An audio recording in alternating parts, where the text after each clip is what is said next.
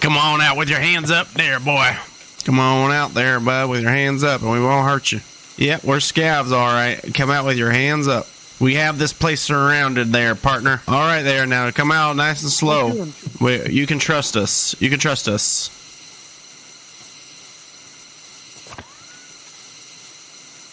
What do you mean don't shoot him? Shut up. Yeah, do it, do it. Fucking. If he's a scav, yeah, we have to. It's like, dude, here, Take everything I got. He's like, it's a stick up.